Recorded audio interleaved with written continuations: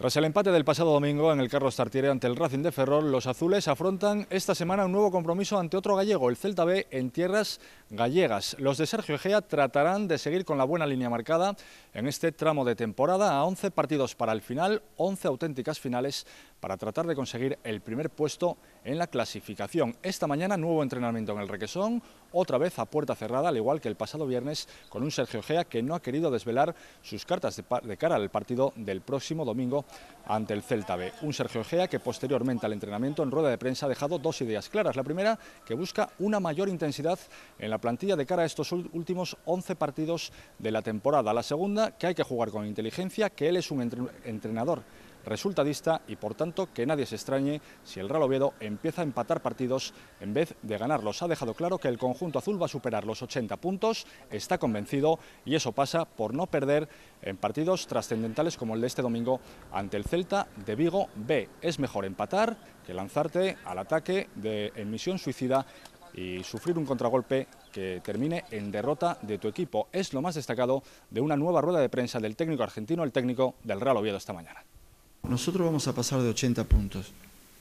Nosotros, no sé los demás.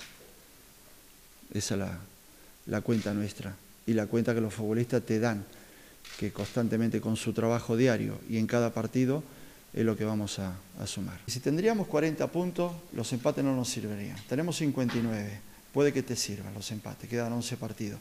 No nos gusta empatar, pero tampoco vamos, somos un equipo muy táctico, muy inteligente.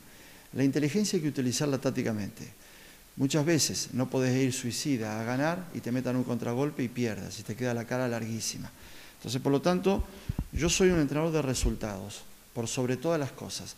Quiero resultados jugando bien, que entiendo que pueden llegar mejor, pero si no es jugando bien, lo quiero de la otra manera. Así que, por lo tanto, para mí prima el resultado. Nosotros cuando, cuando empezábamos la pretemporada veíamos Murcia gran plantel, Logroño, gran plantel, Guijuelo, Cultural Leonesa, Ferrol, Compostela, eh, planteles que, que, estaban hechos para jugar playoff, y Oviedo. Y por lo tanto, bueno, eh, es una fortuna de que todos los demás equipos miren para arriba y sea el Oviedo el que está arriba.